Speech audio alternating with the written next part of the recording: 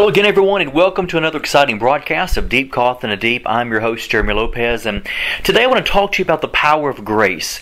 You know, the other day I was doing a life coaching session with a dear woman from Canada, and one of the things we were talking about was the power of grace and how much grace has transformed her life. And I wanted to share that a little bit with you each today because I believe that grace is sufficient for each and every one of us. And, you know, even this year, knowing that I lost my dad back in March 1st, and, and his birthday happens to be today day, which is January 21st, and of course mine follows the next day, the 22nd. But knowing today is a day that could be sorrowful, it could be, uh, you know, hard, and it is hard. But yet we know that God said His grace is sufficient. And many of you out there I've talked to said, you know, I couldn't imagine losing a parent. I can't imagine, you know, going through, through a divorce. I couldn't imagine losing a child. You know, I couldn't imagine, you know, being in deep depression or suicidal or whatever it is that maybe so many people on earth suffer with. But you know, the great thing about God is we might not truly understand exactly how we do make it through things, do we not? I mean, many people have said, or I've told people before, you know, I don't know how I would survive if a parent died. I mean, I, I don't know what I would do if or when my father passed away or my mother. And yet, guess what? Here we are in January, and it's been about nine or ten months since my father passed away. And yet, you know what I've realized? It's His grace that is sufficient. It overrides everything, anything and everything in life that we seem to look at and think there's no human way possible I could deal with this right now, or, or go through this, or lose my job, or, or go into debt, or lose everything that I own, or have someone that I love die, or have a fiance leave, or whatever it is you're struggling with. But, folks, let me tell you something His grace is sufficient. And what does that grace mean to us today? Well, I wanted to share with you a couple of scriptures because grace is the message of each and every one of us. It's not only just given to us, it's freely given to us that we can give it away to others. And I think so many people right now in the body of Christ, we struggle with that essence of, you know, how much is too much and how much is not enough and how much is, you know, going overboard. But yet each and every one of us have been saved by grace, folks. And the Bible makes it plain that we've been saved by grace. If we have been saved first and foremost by grace, don't you think for a moment that other people deserve that same honor and respect to be given that same amount, that unlimited, un- unthinkable measure of faith that we as human beings cannot seem to offer people? But guess what? We must try our best to offer the measure, the countless, powerful measure of grace that have been given to us. Because what was given to us, folks, guess what? It's our job, our responsibility, and our duty to give that same grace to whosoever. And when the Bible says to whosoever, you know, that means that whosoever means anyone and everyone. It doesn't matter who they are, what they are, whether you agree or disagree, whether your theology or your doctrinal beliefs goes against them, or, or maybe they just sort of blow your mind because they're totally anti everything you ever thought a person could be. But guess what, folks? God's grace is sufficient. For God so loved the world that he gave his only begotten Son, which means God loved us enough to cast us not uh, aside, but to cast us further into the grace of the pool of, of that's unlimited of his grace. And that's where we need to be, is in the ocean of God's grace. And I want to read to you today a couple of scriptures, and that is Romans chapter 1, verse 1. And it says, Paul, and guess what, folks, by the way? Paul was considered one of the greatest apostles that we've ever known. And so let's read what Paul says. Romans chapter 1 verse 5 it says Paul a servant of Christ Jesus called to be an apostle and set apart for the gospel of God. Now before we read further think of it this way folks. Think of it that Paul here who was formerly Saul killed Christians. He hated them.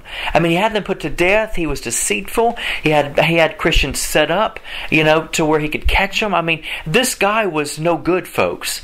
But yet, guess what? Through the moment in a twinkling of an eye, God's grace was sufficient. God's grace has always been there before even Paul became, or Saul became Paul. God's grace was always upon his life because God's grace is upon all of us. And yet, that same grace gave Saul a chance to start over again, another chance to live again, or live really for the very first time, as with his eyes wide open, enlightened with the power and illumination of God's glory. And yet, Paul continues continues to say, you know, I'm set apart for the gospel of Christ. And verse 2 says, The gospel he promised beforehand through his prophets in the Holy Scriptures. And it goes on and on and on. And I want to read verse 5. Let's skip down to verse 5. It says, Through him and for his name's sake, we received what? Grace. An apostleship to call people from among all the Gentiles to the obedience that comes from faith. Guess what that means? It means verse 5, Paul's letting you know that in verse 1, look, I'm called to be an apostle. I'm called to be set aside, set apart for the gospel of God. First and foremost, what is the gospel? The gospel is the good news. So Paul went from a state of being Saul, who was no good, a state of being evil, bad, set up people, deceitful, killed Christians, killed people, those who opposed the Jewish law, guess what? He had them put to death. And yet he's, he's now saying, I've been awakened, I've been enlightened, I've been illuminated by the grace and the power of God. I mean, so I am called now for the good news. I'm not called for to speak on hell, I'm not called to speak on this, I'm not called to speak on the dangers that's coming to Israel. Let's let's put it another way. What do we see prophets today do in America. Many prophets say they're doom and gloom and say God's judgments against us and, and all these other wretched things. But God, folks, let me tell you something. God's wrath and God's judgment was poured out upon His Son on the cross. It wasn't the me. It wasn't the fact that God was a mean God. It wasn't the fact that God was was crazy or, or, or that God could not wait with a vengeance to just kill people and He couldn't deal with it any longer, so He decided to torture His Son. Folks, we're not talking about about that. That gospel is a warped, demented gospel. We're not talking about that kind of gospel. What we're talking about is the wrath or judgment that God stored up because of what people have done to him and, and almost turned their back upon him and basically slapped him in the face because here he, here he comes birthing forth a new creation, a, a, a universe, a, a planet Earth with hills and valleys and, and put skin upon these spirits and said, Look, you know, like Adam in the Garden of Eden, I, I want you to enjoy eternity eternity here and, and, and have the pleasures of this life and, and eat of whatever you want to eat. That when you take a bite of the fruit that I'm giving you and, the, and walk through the valleys, it's sweet, it's good, it tastes good, and, and you can you know feel the wind upon your face. It was a place where God created us to be in His image and likeness, but to enjoy this creation, to live a life that is successful, powerful, and not having to work for anything, but be able to just vast in the favor and the promotion and the presence of God, never never lacking for anything, never wanting, never desiring, because everything we'd ever think about, we ever wanted, was always right there with us, always in us, always around us, surrounding us. And so God wanted to, uh, to, to create this utopia world for each one of us that we could enjoy Him and walking with Him in the cool of the day, having fun with our God and being Him on earth. And, and guess what? Man decided to go a different way. They decided that, you know, we don't want this stuff. We want to be able to eat from our own tree. We want to eat from, even the one you tell us not to eat from. We want to do what we want to do. You know, we want to choose to serve and do whatever we want to do, and, and we'll make mockeries of you, God, and tell you and, and do things that you don't want us to do. And so, what do you expect God to think, folks? God's grace has always been sufficient. His mercy always will endure forever. His love has never given up on any human being. But guess what? Even those who betray Him, He loves. Even those who hate Him, He has grace on. And guess what? Because of what humanity has done against Him, what did He do? He turned around and said, Look, I'm still not going to hate you. I'm still not going to kill you. I'm not going to pour my wrath upon you, my vengeance, my judgment. Here's what I'm going to do. All of that that I would, that would normally you would deserve because of what you've done towards me. And once again, here's the idea, folks. Not because God says, I can't take anymore. I'm sick of these idiots. I want to kill them all. I want to burn them all at the stake. I want to just tear them to pieces. And so I'm so angry, I'm going to give it on my son and just, just make my feelings just pour out through him. Folks, if that's the kind of God you serve, your, your, your demented, disgusting ways, pardon my expression, of God are horrible and hideous because that's not what God's after. God God never has ever hated us. God has never, you know, wanted to deliberately disown us. As human beings, what God wanted was for us to give Him the same treatment that He was giving us, which was love and, and, and just honoring Him and walking with Him and being joyful with Him. But God said, you know what? This is these are the things that that you know um, you deserve. I mean, I, I, these are the things you deserve. But because I'm not going to do that, because I'm not going to pour my wrath upon you, destroy you, and kill you, and, and pour judgment. Even with Noah, he said, Look, I'm never going to do that again. I mean, I couldn't imagine God's heart saying, I can't even deal with this. I couldn't imagine a world that I'm going to have to wash away and, and basically cleanse and start over again when he couldn't even find a handful of people who were who wanted to honor him and just love him. And the thing is, God doesn't ask for much. All He asks is for us to love Him and to and to show Him grace and show the same affection that He showed us, that same love and affection and power and grace and mercy towards Him and to the and to those all around us, to the whosoever's on earth, and to be Him on earth. And that's all He ever wanted. But when you know when humanity begins to betray a God who who shows nothing but pure love and essence of grace and mercy, you know what do you expect? You know, and so so God said, "Look, I'm, it breaks my heart to have to do this, but I have no choice but to do this, Noah." And so God gathers Noah up and his family because there wasn't anyone else that really honored God or loved him or even wanted to talk to him. And so God gracefully put save Noah, the few people, and think of it this way, folks. God could have easily said, you know, that's true. You know what? Nobody's nobody's good, and so here's Noah and his family, who I've seen righteous in my eyes. But you know what? I've just I'm not going to save five or ten or you know or seven people. You know, when the whole world is just evil. So let me just wipe them all out and start over again, and there'll be no record of this. There'll be no record, no account of, of me ever destroying anyone. Because if just think of this way, folks, if God destroyed Noah and his family, we would never have a record of any of that ever happening unless God prophetically just happened to tell a prophet one day that guess what? There was a world that happened before you. And so what does God do? God saves the few. God saves the few. And you know, even with with Lot and Sodom and Gomorrah, you know, here it is with Abraham saying, you know, hey, how about 50? How about 100? How about 25? I mean, come on, God, I'm trying to bargain with you here to let you know that if there's any good in that city, you know, will you save them? And unfortunately, God was like, look, Abraham, I would really love to do that. But there's really nobody in that city good. I mean, there's just nobody. And it wasn't the fact that they were not loving God and trying. You know, God doesn't kill or destroy people who are loving and trying. God, you know, just misses the, the, the and was disconnected, so to say, you know, from people because people wanted to be disassociated with God. And there was nobody good. But yet the good thing about even that story was there's a Lot and his wife and, and so he says, you know what, fine, then I tell you what, I'm gonna save the two. I'm gonna save the few. The literal minimal of few here that just has a good heart. And yet, guess what? Lot was proven to be good, and so God saved him. And God's always been into the saving business. And it's not the fact that God hates you, God is mad at you. You know, so many people say God's going to destroy America because of gay people, God's going to destroy America because these drug, drug addicts. You know, I've even heard stupid, idiotic, stupid people, you know, pardon my expression, you know, say God's going to destroy America because we have, uh, you know, Obama's in office. I want somebody to say, folks, seriously, what kind of warped lifestyle have you been living and, and what kind of theology you've been thinking?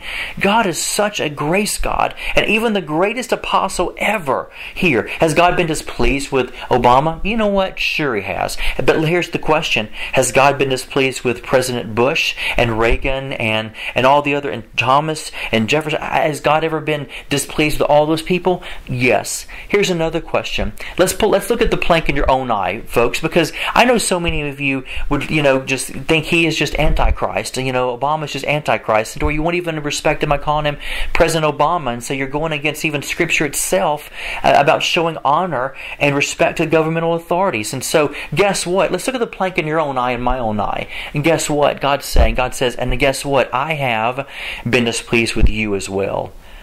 Have you let God down, folks? Sure you have. Have I? Absolutely.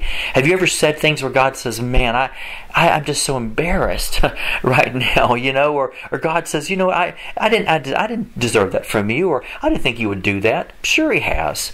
So guess what, folks? Has Obama let God down? Yes. Have you and I? Yes. Absolutely. And the responsibility of what you think you know in your deep revelatory things of God, you know, that if you disappoint God, amaze, imagine even the, the, the, the, the bigger disappointment that you've let God down more than even Obama because of the grace uh, or the, the revelation you know of God's grace and power and authority. And guess what? You've let him down worse for that reason, that main reason alone. And so I look at this and I say this, folks. The greatest apostle apostle ever made it plain I am now set apart for good news. to tell the world about good news. And then in verse 5 he says what? That through him and for his name's sake we received grace and apostleship to call people from among the Gentiles to the obedience that comes from faith. He's letting you know, folks, grace. Let's look at another one. Acts chapter 6, verse 8. I love this. Acts chapter 6, verse 8. Stephen. Stephen was another great man of God that God called and equipped. It says, Now Stephen, a man full of God's grace and power, did great wonders and miracles, signs among the people. So isn't it interesting? Think of this way, folks. Isn't it interesting that God wanted to make sure that the record book of one of the greatest books that the greatest book that ever was written, you know, made it uh, a, a note to say let's let's how let's define Stephen. And he says, now Stephen, a man full of God's grace and power. Folks, let me tell you something. I would love to be honored by God to have God look at me and say, you know what? It's not about your dynamic prophecies you give, your your accuracy that you pour on, or or your miracles that you do. It's because He even made it plain. Look, you know, people do this kind of stuff, and you can depart from me. I don't I don't know who you are, and do you know why God would have to do that? It's simply because of the fact that that, that consciously, we have to be aware that God's grace is why we are called. If we were saved by grace, what, what else is, it, is there to give but God's grace, folks? God never, let me tell you this first of all. For any of you and all of you, and I'm going to break, many of you have quit listening to the broadcast, and many of you have told your friends, man, you got to listen to this broadcast. It's good. So if you're the one that's barely holding on, you know, to the broad broadcast of Jeremy Lopez, or you're the ones that are diving in it because you're hungry hungering and thirsting for this kind of stuff of what the Bible talks about, I want to tell you something, and this maybe will help you either put you over the edge, one or the other, and that is this. That how many times did God, did Jesus ever mention the word hell? Guess what, folks? Once or twice. And it still never referred to sinners don't burning and going to hell. Now, once again, we're not getting in some theolog- theological discussion. Don't care about that. I'm talking about the idea of Jesus never, ever, ever, ever, ever, let me put it to you another way, ever recording anyone ever dying and going to hell. Jesus never ever recorded anyone out there to everyone he came in contact with about how disgusting they were to God, how God's wrath was against them, or God's evilness was against them, or how my Father in heaven cannot tolerate you, or my Father in heaven can't put up with you. How many times has Jesus ever said that? Folks, not even one. He didn't even come close to hinting around to that. The, the, you know, think of this way. A prostitute, I say this a lot, but it's true. A prostitute woman, and let's put it in modern day 2015 uh, terminology, a whore, a prostitute, a dirty slut. I'm, I'm, pardon my expression, folks, but I'm getting real with you because the fact that I know many of you out there have have called people like Obama antichrist or evil, or, or we've looked at people and we've said those homosexuals they're going to destroy the nation, and and you and you call them every wicked name in the book or whatever it is or whoever it is you're against her. Here's the idea so we're talking modern day terminology. So to this woman, you would say she's a slut, she's a whore, she's a prostitute. You would say whatever you could if she was the one here today being presented to you, maybe in the form of Obama, maybe in the form of your neighbor, or the form of your family member, or someone you, that your neighbor you can't tolerate. Guess what? You would call this modern day terminology this woman today. This is what you would do. And yet, guess what God did? This is what God did that came in flesh and blood. What did God do? God came down because He loved the world, not loved the religious people, not loved you because you're a Holy Ghost Spirit filled Christian. That's, that's not even in God's agenda. God loved the world. God loved everyone on planet Earth. And that, in that moment, those who were cursing Him, hating Him, screaming at Him, blaspheming Him, God said, the Bible says God so loved the world. He says, you know what? I love every last one of you right now. Yes, even you who's cussing me out. Yes, you who's just destroying your, your, your president. Yes, you who's destroying your body. Yes, you who's cheating on your husband. Yes, you who just murdered 15 people. Yes, you who gruesomely killed and murdered a child. You. God so loved the world. And that's hard for me to fathom, folks. Because I can't tolerate people who hurt children or animals or old people. I can't tolerate any of that kind of stuff. But guess what? He says, Your ways, my ways are higher than your ways. My thoughts are higher than your thoughts, Jeremy. You couldn't imagine. It's never even entered into your heart, even the things I prepared for you. And I'm thinking, Me, God, do you know what I've ever done in my life that was displeasing to you? And God says, You know what? Doesn't matter. My grace is sufficient. My grace is sufficient upon your life. And so here we see a story of a woman that's a prostitute. And you know what Jesus did? He says, Look, go and sin no more. I'm not the one that's going to accuse you. He respected a woman who did not deserve respect. He honored a woman by not saying, You filthy, rotten piece of crap. Pardon my expression again, folks. But guess what? You know what? I might say it, but you're thinking it. And so many of you would sit here and say, You know what? Get our God, get our God. Because you know what? Those of you who say, get them, get, get that president God, get that horrible, you know, agenda that these people have over here. You know, for those of you who think that, you're no different than the religious system. You're no different. And yet your holiness and your false righteousness can look at that and say, oh, but that poor woman, you know, oh, poor her. Well, let me ask you a question. What about poor presidential, uh, you know, uh, candidates? What about, you know, poor neighbor? What about the poor, uh, you know, person who's struggling, you know, with this area, that area. What about those people? That's my question to you: Is where's the where's the true righteous grace that we have upon the people today? See, it's so easy to show grace to somebody in the Bible who Jesus showed grace to. That's easy. What's hard is showing grace to people around you who who in your in your eyes you've already judged to be evil, wrong, or, or horrible. Here's my question to you: Everybody on earth, folks, everybody on earth is struggling with the same exact thing, and guess what? So are you. You're included in the mix, folks, just like I am. That we're all trying to work our way into the kingdom of God. We're all trying to find a better life for us. We're all trying to find the life that God has for us, and we're trying to find it through through drugs or or through Buddha or through Muhammad or through you know uh, some crystals or some or for our in, in, our situation we're trying to find it through through Christ. Guess what? Everybody on earth is is trying to find. Everybody on earth is seeking, and yet it's easy for us to say those horrible, wretched Muslims, those those good for nothing Hindus, those horrible, nasty these people or that people people. But I have news for you folks. This is where we've all missed it is they're all seekers too. And they're raised in a culture that never knew of who Jesus was. So how on earth can we not show grace to those who have never heard the message of a loving God, of, of, of, of good news? How can we not show grace to those who do not know any better? How can we not show grace to those who have never been like me and you? Guess what, folks? You can say this all you want to, but you're fortunate. You are fortunate. You are you are blessed to be able to hear the gospel in a country or family who raised you in Christianity. How dare us begin to judge other people for the harshness uh, of what their life, you know, uh, has put upon themselves, much as other people, simply because they were not raised in a culture of millions of people, thousands of people, or never raised in a family where they never even heard of really who this Jesus guy is. And yet we have the power to judge a person who's hurting or wounded or, or maybe someone we don't even understand.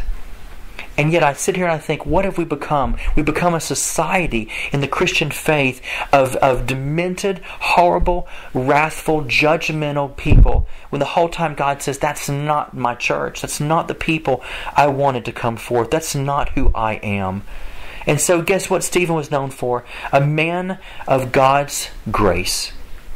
Let me read another one to you before we quit today. Ephesians chapter 4, verse 7. But to teach one of us grace has been given as Christ appointed us. Let me read again. But to each one of us grace has been given as Christ apportioned it. Guess what, folks? I have news for you. You have been given, every one of us, the Bible says, has been given grace. Who are we not to show that same amazing, powerful, unmeasurable, unlimited amount of grace that's been given to us. How are we not able to show that upon everybody? And many of us say, well, you know what, we're called to love our neighbors as we love ourselves. I can barely deal with that. You know, some of you might say, Okay, Jeremy, I'll go with that one. I barely can deal with that, so I can sort of be a little bit more loving like Jesus was. And and then you'll turn around and we'll say, but that grace thing, oh no, uh, uh no, God's going to get them, man. God's going to get them. And guess what? I'm his, I'm his mighty, righteous, holy vessel, and so God's going to use me to get them, or God's going to cause me to to pray for that dirty, horrible person, but never ever take them dinner, never show them kindness. I mean, let them know, put on my nose to them, let them know that I'm not like you. I am totally not like you. I'm not a sinner anymore. Praise God, I'm a sinner saved by grace. And you know what? You can go through all of your spiel. You can go through all of that in your mind, but mentally, folks, when you do not go and visit your neighbor and say, Hey, how are you? I'm, I'm your neighbor and I'm so sorry I haven't been able to talk to you for a long time or I've never met you and we've lived next to each other for three years and, and you might perceive maybe they're Buddhist. You might perceive, you know what? It's a lesbian couple next door. You might perceive, you know, that maybe they're just dirty people or maybe they just have a filthy mouth and you might perceive whatever it is you want to believe that you your perception says is wrong or bad. And, and let's put it another way: your perception, your perception always is not is not always the truth. By the way, folks. And so all of a sudden, what you perceive is so is so uh, uh, horrid and, and wretched and despicable. And so, what do you do? You should say, you know what?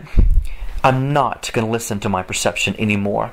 I don't care about that kind of stuff. What I care about is going to my neighbor and saying, I am really truly sorry that I've never gotten to know you. And I'm really sorry that, you know, I've lived next to you for a couple of years. Hey, oh, let's do this. I would love to be able to give you maybe uh, dinner one night. I'd love to make dinner for you one night. Have you and your family come on over. Or I want to let you know right now, I'm always here for you. And if you ever need me, hey, you know what? Let me know. You can welcome to borrow my lawnmower anytime.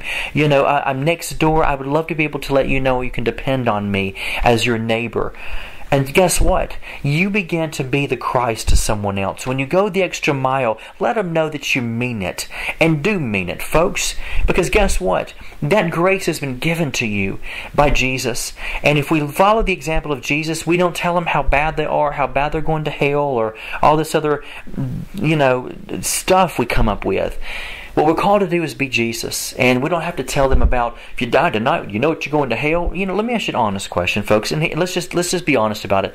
Did Jesus ever say that? Name me one time that Jesus Christ God in flesh ever told anyone. Now I'm going to challenge every one of you right now because you know what? I'm not concerned if you if you you know uh, leave or stay because my concern is to let you know how much I love you and how much that God loves you, but also not just you, but everyone around us and how much grace is powerful. So how many times did Jesus ever tell anybody they're going to go to hell if they don't accept Him? Not a one. Not a one. And many of you can pull up some scriptures, but guess what? You don't know the Greek, and so many of us do not understand these certain words of, of that we look at that do not mean hell, for one, and therefore we have to look in that and realize that, you know what, it's not about a doctrinal theological discussion here on this broadcast. It's about being Jesus. It's about letting those know who are who you perceive as bad and rotten and horrible and good, I mean are no good. Guess what? To say, you know what, let's not tell them about, you know, where they're gonna go if they don't or how horrible they are if they don't know Jesus. Let's let them know this. Hey, guess what? I love you and I'm here for you.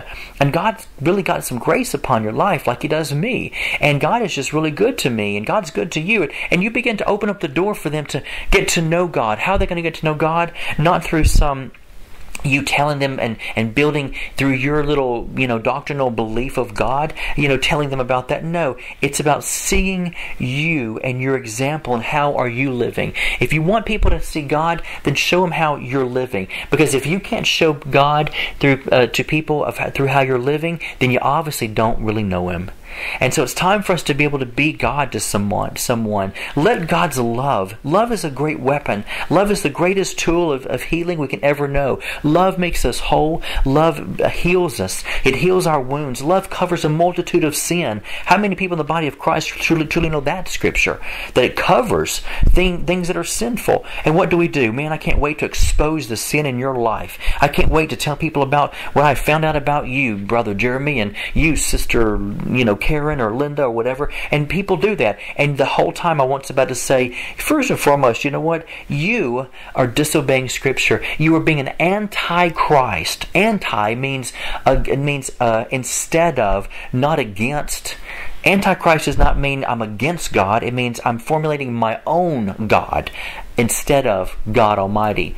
And so when you do that, guess what you're doing? You're, you're, you're formulating an antichrist mentality because you're not willing and, and ready because you haven't died yourself enough to be able to cause love to cover a multitude of sin. Hello. Love covers sin. It doesn't expose it. It's not your job to do that. Your job is to love and to cover people with grace and mercy and watch God. Then watch God come in and do what God needs to do. And it, and God will never ask you, "What do you think I should do in this person's situation?" You know, how many people go to church and and they say, "Oh man, I can't believe that. Wow, they're living together and they're coming to our church. Oh my God, how can the preacher put up with that stuff?" And you know what we realize? We forget that that the presence of the Holy Spirit's job is to convict, not yours, and the timing of uh, timing is God's, not yours. And so let's leave God. Let's let God be God and the Holy Spirit be the Holy Spirit, and not do His job, but do what God wants us to do, and that is to love and to cover and to protect and to cause grace to begin to abound much. The Bible says where much sin is, doth much grace abound. Folks, if you think in your in your limited perception that there's powerful sin all around you, then you better rejoice and praise God. That's right, I did. I said when when a lot of sin's around you, you better rejoice and praise God. That's right, I said it. You know why? Because God said it. God said where there's a lot of sin, there's a lot of grace right there. Where much sin abounds, does much grace even abound even more. So you better rejoice because you're you're in the presence of, of, of more grace than you are sin. And so if you want to look at the glass half empty and say, I'm around sinful people, I can't go into that restaurant restaurant, that club, that club. I can't get near that neighbor. I can't get near that lesbian. I can't get near, get near that prostitute. She, you know, she tore up that family, that little prostitute, yeah, whatever. You know what? When you when you feel you're around that, you better rejoice. You know why? Because you're in the presence of not the glass being half empty, but the glass being half full. Thinking positive and not negative, which is there's more grace there than there is sin. Praise God for that. And so you better abound in the grace of God that, that you are standing and beholding at that moment to give that away to all those that you perceive is, is so much lower than you in their sinful nature. Folks, we've got to be able to be sons and daughters of God and know that how much God loves us and God is there for us and He's protecting us and He's giving us His grace and His mercy. That's the love of our God. Right there, right then and there. That's the love of grace. And let's read last one. Well, in Ephesians chapter 2 verse 8 says, "For it is by grace you have been saved through faith. It is by grace." Let's read the last one. Hebrews chapter 13 verse 9. Hebrews 13:9 says, "Do not be carried away by all kinds of strange teachings. It is good for our hearts to be strengthened by grace." Listen to me now. Don't be carried away by all these crazy doctrines. Instead, it's good for our hearts to be strengthened by grace. So we'll close with this. Hebrews chapter 13, verse 9. Folks, don't get caught up in all the crazy doctrines of warping God, making God look mean, and then you're carrying out the judgment written against people because God cannot tolerate it anymore. No. You know what the apostle says? He says, you know, cast those stupid doctrines aside and those theologies and those teachings, cast those aside and give people grace Move in the grace that's been given to you.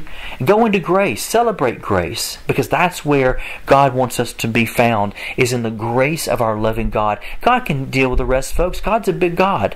He can handle everybody. And plus, He knows what people need out there in the world. He knows when their timing is that they need certain things. And when their heart is ready to be pricked, to be healed and open. That's God's job, not ours.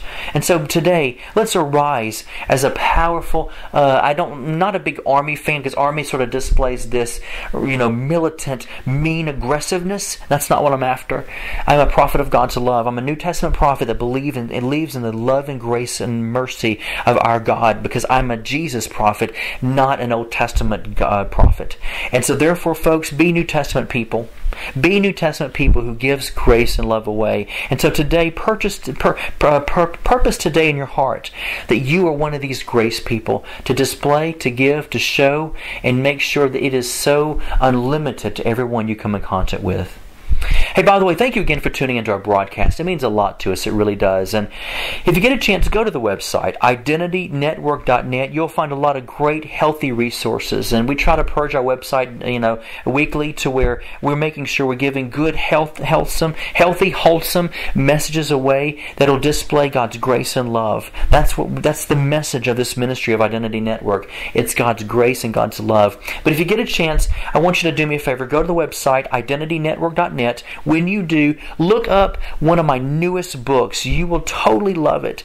It's called According to Heaven, the Heavenly Pattern. According to the Heavenly Pattern, the Seer School of God's Imagination. I'll say it again.